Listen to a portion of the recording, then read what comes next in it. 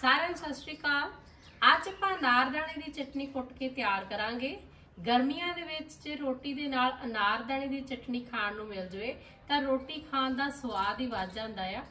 ਅਨਾਰਦਾਣੇ ਦੀ ਚਟਨੀ ਬਹੁਤ ਵਧੀਆ ਬਣ ਕੇ ਤਿਆਰ ਹੋਊਗੀ। ਇਹਨੂੰ ਆਪਾਂ ਕੁੰਡੀ ਦੇ ਵਿੱਚ ਕੁੱਟਾਂਗੇ। ਮਿਕਸੀ ਦੇ ਨਾਲੋਂ ਕੁੰਡੀ ਦੇ ਵਿੱਚ ਕੁੱਟੀ ਹੋਈ ਚਟਨੀ ਦਾ ਸਵਾਦ ਜ਼ਿਆਦਾ ਵਧੀਆ ਹੁੰਦਾ ਆ। 4 ਚਮਚੇ ਆਪਾਂ ਅਨਾਰਦਾਣੇ ਦੇ ਲਏ ਆ। ਅਨਾਰਦਾਣੇ ਨੂੰ ਅਸੀਂ ਧੋ ਲੈਣਾ ਆ, ਧੋ ਕੇ ਅਸੀਂ ਫੇਰ ਕੁੱਟਣਾ ਆ। ਕਿਉਂਕਿ ਅਨਾਰਦਾਣੇ ਦੇ ਉੱਤੇ ਕਾਫੀ ਜ਼ਿਆਦਾ ਮਿੱਟੀ ਲੱਗੀ ਹੁੰਦੀ ਆ, ਇਸ ਲਈ ਇਹਨੂੰ ਤੁਸੀਂ ਕੁੱਟਣ ਤੋਂ ਪਹਿਲਾਂ ਜ਼ਰੂਰ ਧੋਣਾ ਆ।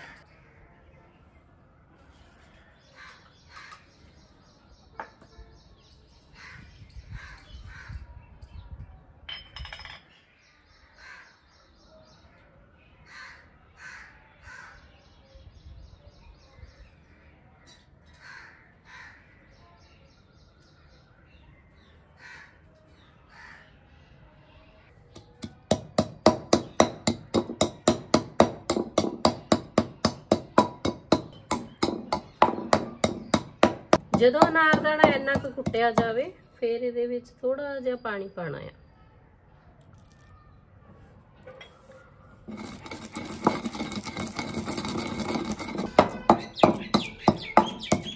ਅਨਾਰਦਾਣਾ ਕੁੱਟ ਹੋ ਗਿਆ। ਹੁਣ ਅਸੀਂ ਇਹਦੇ ਵਿੱਚ ਧਨੀਆ ਤੇ ਪੁਦੀਨਾ ਪਾਣਾ ਆ। ਪੁਦੀਨਾ ਆਪਾਂ ਪਹਿਲਾਂ ਤੋੜ ਲੈਂਦੇ ਆ, ਫਿਰ ਉਹਨੂੰ ਧੋ ਕੇ ਚ ਪਾਉਂਦੇ ਆ। ਪੁਦੀਨੇ ਨੂੰ ਉੱਪਰੋਂ ਉੱਪਰੋਂ ਆਪਾਂ ਕੱਟ ਲੈਣਾ ਆ। ਜੇ ਆਪਾਂ ਕਰਦ ਦੇ ਨਾਲ ਜਾਂ ਕੈਂਚੀ ਦੇ ਨਾਲ ਪੁਦੀਨੇ ਨੂੰ ਕੱਟਦੇ ਆ ਫਿਰ ਜ਼ਿਆਦਾ ਫੈਲਦਾ ਆ।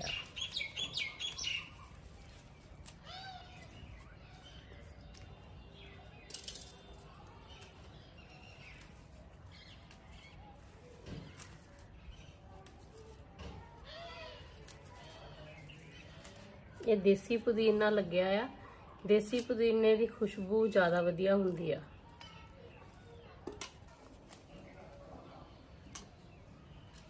ਪੁਦੀਨੇ ਨੂੰ ਅਸੀਂ ਤਿੰਨ ਤੋਂ ਚਾਰ ਵਾਰੀ ਪਾਣੀ ਦੇ ਵਿੱਚੋਂ ਚੰਗੇ ਤਰੀਕੇ ਦੇ ਨਾਲ ਧੋਣਾ ਆ, ਕਿਉਂਕਿ ਕਾਫੀ ਜ਼ਿਆਦਾ ਮਿੱਟੀ ਪੁਦੀਨੇ ਤੇ ਲੱਗੀ ਹੁੰਦੀ ਆ।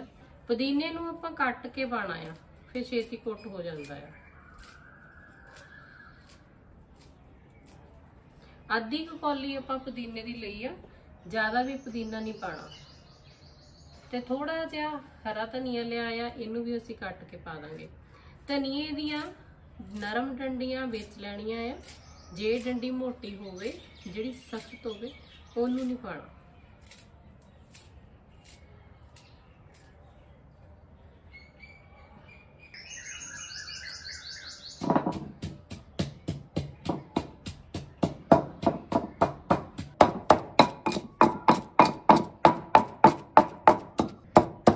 ਧਨੀਆ ਤੇ ਪੁਦੀਨਾ ਕੁੱਟ ਲਿਆ। ਹੁਣ ਅਸੀਂ ਇਹਦੇ ਵਿੱਚ ਪਾਵਾਂਗੇ ਪਿਆਜ਼। ਦੋ ਪਿਆਜ਼ ਲਏ ਆ। ਪਿਆਜ਼ ਬਰੀਕ ਬਰੀਕ ਆਪਾਂ ਕੱਟਣੇ ਆ, ਜ਼ਿਆਦਾ ਮੋਟੇ ਨਹੀਂ ਕੱਟਣੇ। ਬਰੀਕ ਕੱਟੇ ਹੋਗੇ ਤਾਂ ਛੇਤੀ ਕੁੱਟ ਹੋ ਜੂਗੇ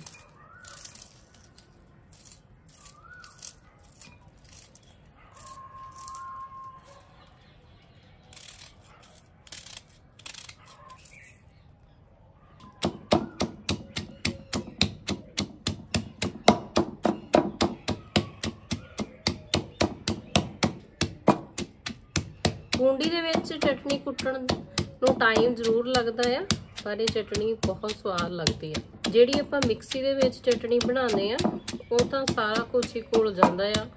ਚਟਣੀ ਵੀ ਦਾ ਸਵਾਦ ਆਉਂਦਾ ਤਾਂ ਜਦੋਂ ਥੋੜੀ ਮੋਟੀ ਮੋਟੀ ਕੁੱਟੀ ਹੋਵੇ।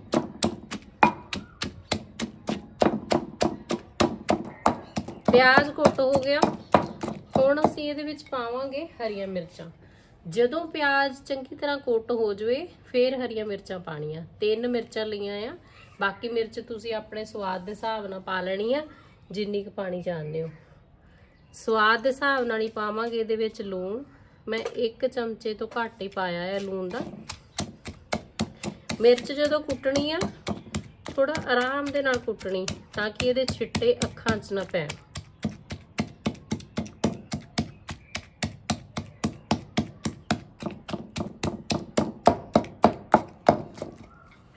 ਹੁਣ ਆਪਾਂ ਇਹਦੇ ਵਿੱਚ ਪਾਵਾਂਗੇ ਇੱਕ ਟੁਕੜਾ ਗੁੜ ਦਾ, ਇੱਕ ਚਮਚਾ ਆਮਚੂਰ ਪਾਊਡਰ।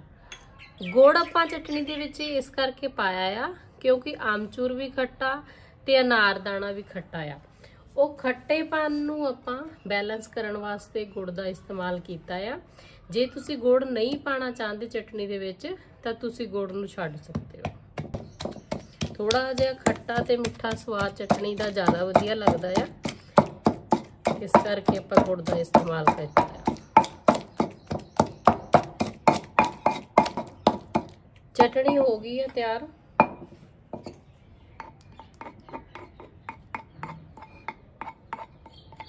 ਚਟਣੀ ਤਿਆਰ ਆ।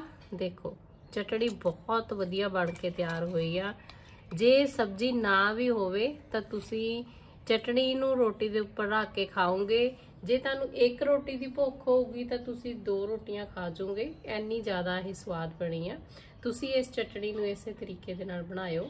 ਵੀਡੀਓ ਨੂੰ ਲਾਈਕ ਤੇ ਸ਼ੇਅਰ ਜ਼ਰੂਰ ਕਰਿਆ ਕਰੋ। ਚੈਨਲ ਤੇ ਜੇ ਪਹਿਲੀ ਵਾਰੀ ਵੀਡੀਓ ਦੇਖਦੇ ਪਏ ਹੋ ਤਾਂ ਚੈਨਲ ਨੂੰ ਜ਼ਰੂਰ ਸਬਸਕ੍ਰਾਈਬ ਕਰਿਓ। ਵੀਡੀਓ ਦੇਖਣ ਲਈ ਬਹੁਤ ਬਹੁਤ ਧੰਨਵਾਦ।